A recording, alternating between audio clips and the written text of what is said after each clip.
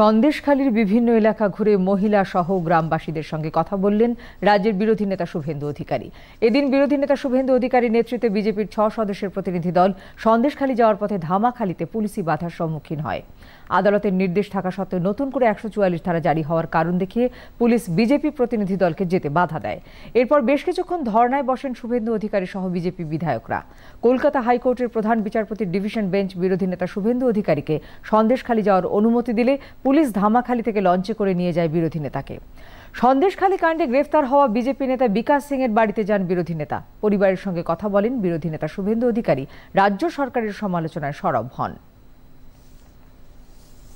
लोग मोदी जी का साथ है बीजेपी को भरसा कर रहा है मैं सब गांव में घुमा हूं लगातार तीन साढ़े तीन घंटा सब गांव गांव में गया हूं भाजपा की हमारी 14 कार्यकर्ता, चौदह कार्यकर्ता जेल में है।